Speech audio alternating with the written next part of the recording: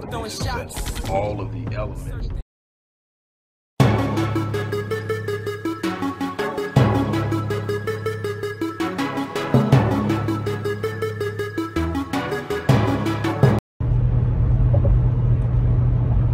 Hello, everybody. Dr. Rick Wallace here, dropping in on you. I hope that everybody's having a great day and a good start to the week. There's so much going on that it can easily become overwhelming and things can get away from you. I want to encourage you, first and foremost, to maintain a center of gravity that allows you to be to remain anchored while going through the turbulent times that we're currently in, no matter what you're facing, no matter what you're going through know that if you anchor yourself and you allow to yourself to remain calm, that eventually the answers will emerge and you will be able to apply them to each and every situation and you will come out of it victoriously. That is how life works.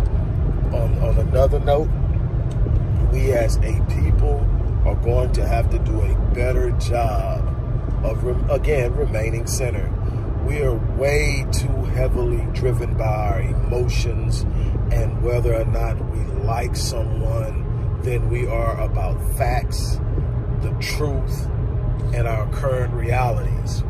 We are literally being misled through the vanity of our emotions and it's showing up in everything from the way we attack each other when we when one of us disagrees with one another we can be more virulent with one another than we are with the enemy. We can be more hostile and pernicious in our assaults with, towards one another than we are towards a known enemy. We have got to get outside of our egos. We have got to get outside of ourselves.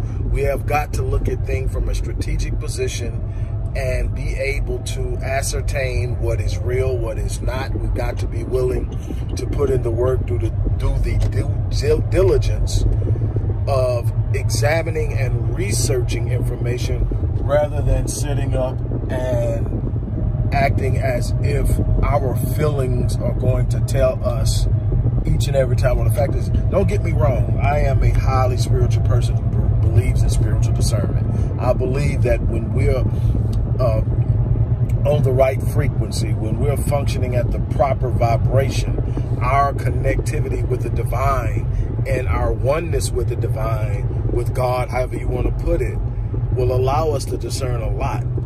But at the at the same time, we have to be diligent enough to confirm what we've been warned about through our discernment. We must be willing to confirm. You know, I heard everything imaginable this past week uh, Dr. Uh, Stella Immanuel couldn't possibly be telling the truth because she's ugly and her hair is nappy. I literally heard that. See, we go on the attack. And then what bothered me about that particular assault is we attacked her for her blackness. That tells us just how far we've fallen and how much we've been consumed within the philosophies and concepts of their social ideology, a Eurocentric idea of what is.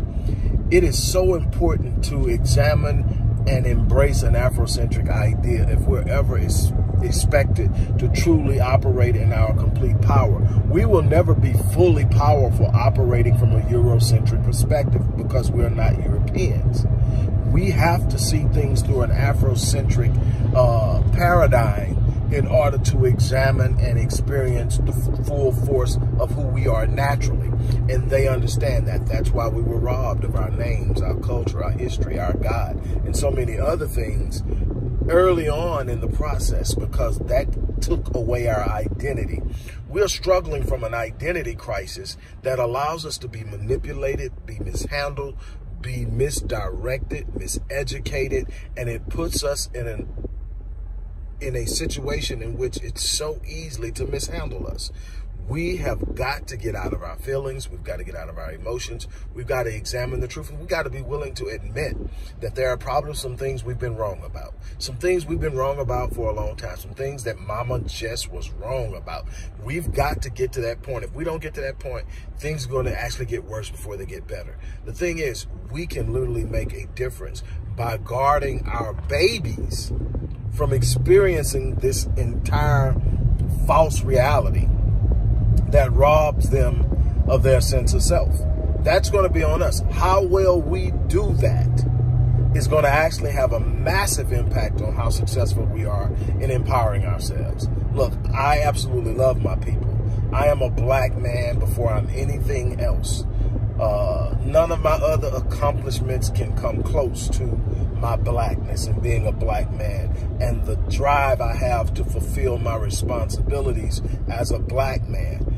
And so when I see that, I see the need to rise up and be everything that I can be and to touch lives and to change lives and to come up with solutions and be a part of the uh, of, uh, uh, of the solving of the problem rather than being a contributor to the problem itself. I'm challenging every last one of y'all to do exactly what I'm doing and that's living life on full so that you don't down eat, so that you leave a legacy that your children and your people can look at and say, hey, look, he, he came, she came, they saw, they conquered.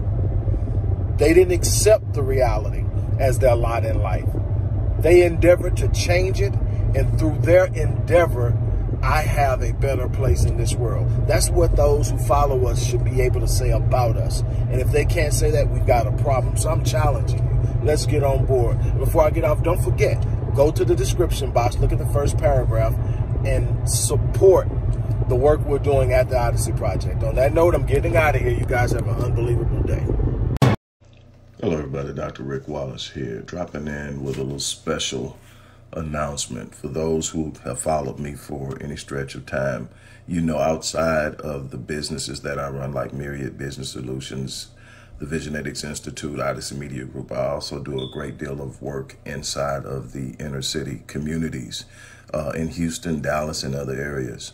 Uh, I'm asking now as we push a fundraiser that you support what the Odyssey Project is doing in the inner cities, uh, especially with programs like Black Men Lead, which is a rite of passage uh, initiative, and Restoring Ghetto for, Ghetto's Forgotten Daughters, which is a program focused on helping young girls, but boys as well, suffering from childhood sexual abuse, uh, rape, molestation, domestic abuse, uh, absentee fatherhood, and so many other things.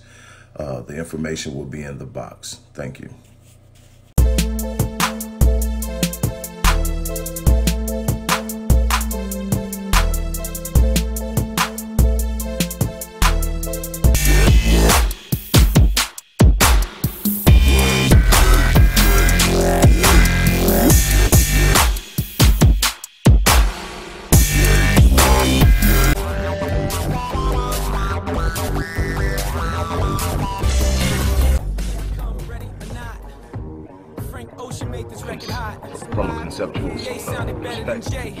People talk about a desire to be successful. All of the elements